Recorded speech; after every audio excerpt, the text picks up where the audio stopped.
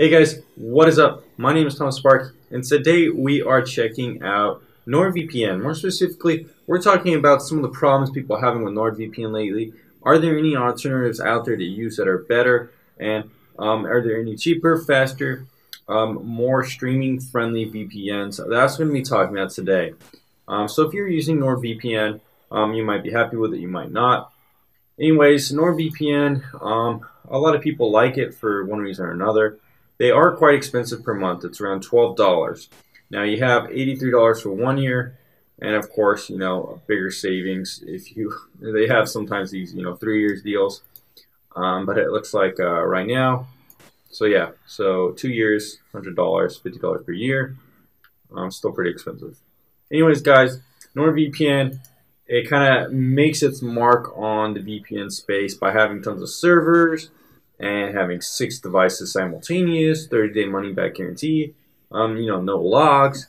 But is it really that good? Um, let's check out what some people are saying. This person's saying Amazon Prime not working, says not available in your location. This was only four months ago. This person says NordVPN servers are being blocked by Amazon services. They know about it, but haven't found an answer yet. This person is saying that he's having trouble getting NordVPN to work with Netflix, BBC iPlayer, Hulu, Popcorn Time, Hotstar, Amazon. So, and another person just even a month ago saying Amazon not working with NordVPN for a while. This person uh, saying that he has tried all different sorts of servers. Um, doesn't seem that Amazon or Hulu work with NordVPN.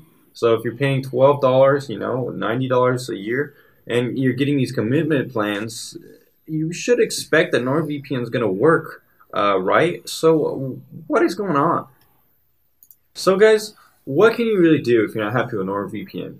You might be thinking, well, I've already signed up for this three-year commitment. I'm kind of stuck with it. Um, maybe there aren't any better options out there, but there are some good options out there. I've even made a video on how to get a free month to paid VPN that is going to work with all these services.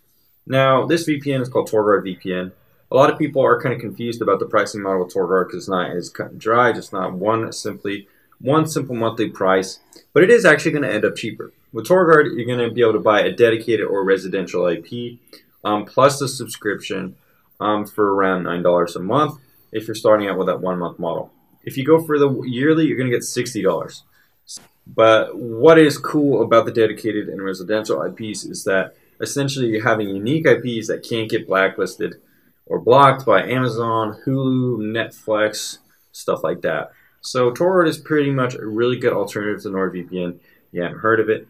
Um, I would recommend checking it out. They have a cool promo going on that if you've signed up with a, a long-term commitment like with NordVPN, you can actually get some of your money back through prorated router or something like that. Not only that, if you show them you canceled your VPN subscription, you can actually get a month free. Pretty cool, right? Anyway, guys, just a little bit of a solution, alternative to some of the problems I've been seeing lately. Um, go ahead and check it out down in the link down below if you want to check out TorGuard and per, uh, support the channel through purchasing it. Um, anyways, guys, I'll see you again on the next video.